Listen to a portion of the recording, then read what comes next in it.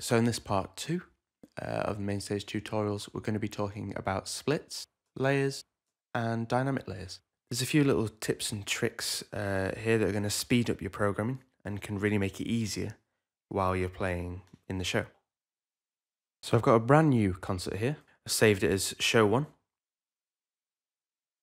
So let's go create a new patch. So I've got an untitled patch here. If I now select new set from selection, I'll have a set with that patch in. I'll rename this uh, set song one or whatever the first song in the show is. And then we have a set. And we continue to add patches in this set and they'll stay in this set uh, until uh, we create a new set from a different patch. Let's uh, just get our first patch set up. So following on from my first video, and as I was explaining uh, back then, to create a new patch, can select your instrument from down here. Just select a simple piano, grand. There we are. And there, all of your parameters for the plugins are all preset to that instrument, um, just to create the best sort of starting sound for you then to sculpt further to what you need. Yeah, so let's uh, let's try adding a layer. So more often than not, you'll need more than one layer in one sound uh, for a show. So we'll go to channel strips and we're going to insert an instrument channel strip. And we're going to want them on keyboard one and the output that we're set at. So now we have our second channel strip. Now you can again go into the channel strip library and select it again. I find it easier to just go from here in the settings.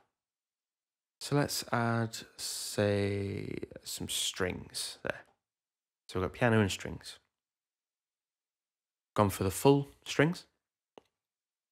And then it doesn't actually add the reverb buttons and the reverb effects on, but we can just uh, do them as they were with the first channel strips. We get the same sort of sound. There we are. The strings on its own.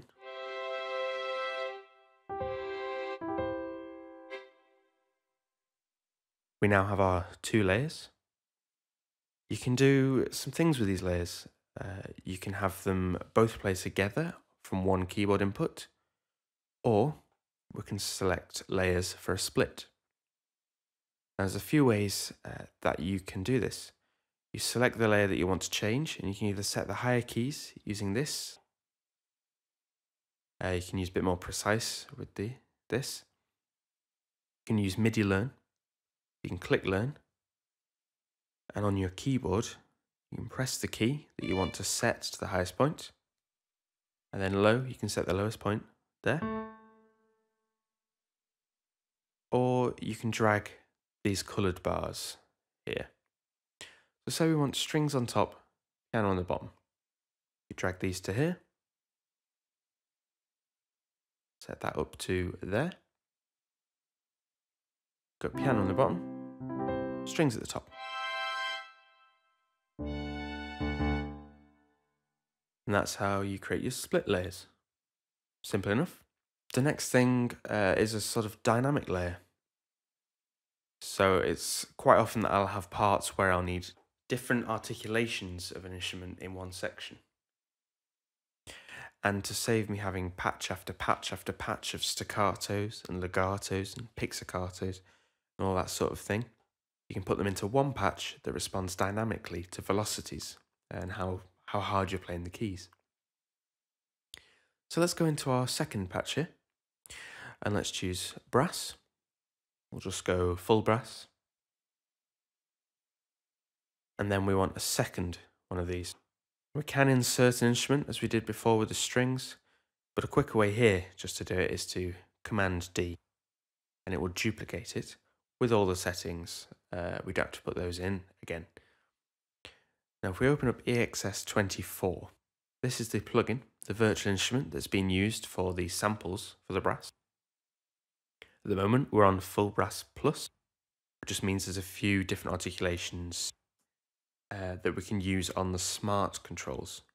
Uh, you can map those to your keyboard. But if we want to without as uh, you know without as many MIDI controls as possible, we can open this up and go into here Let's choose staccato for this.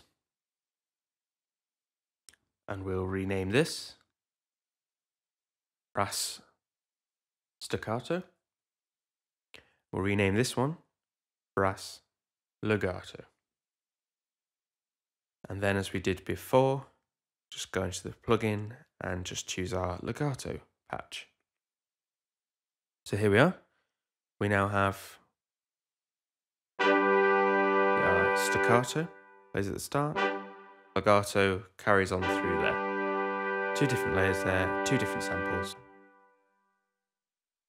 What we want to do is have a higher velocity, so the harder you press the key, the staccato will play, and the softer you press, the legato will play. It's very simple, very simple way to do this. So we just select the staccato channel strip. We want that to play with a harder velocity. So if we set this velocity minimum to 100,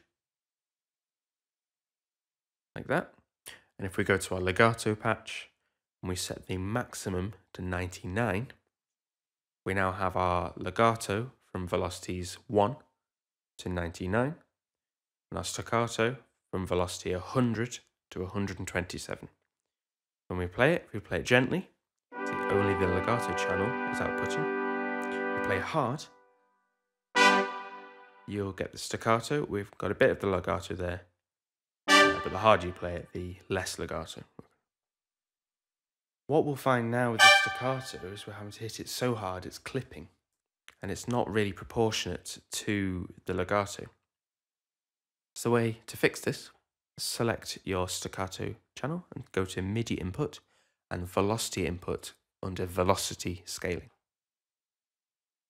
So this is your graph where you've got your input velocity down here and your output velocity down the side. So at the moment it's uh, it's equal.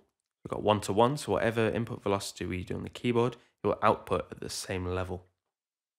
What we want to do is take the output velocity down. So the harder you play, it will still average around mid velocity. What that's going to do is if we hit it really hard, it's now a lot softer and it's corresponding much more to the legato patch. So there's a simple way for you to create your dynamic layers. You can do that with your brass, you can do it with your strings the change between your arco strings and your pizzicato strings. You could do it with so many other things. I mean, even instruments that don't correspond to each other. Just to create a patch that does lots of different things at once. So that is dynamic layers. So that's where we're going to leave it for today. I'm going to move on to talking about inputting your own samples into EXS uh, and creating your own patches from your own samples and an easier way of doing harp glisses uh, with pedals, uh, which can crop up from time to time. So, thanks for watching.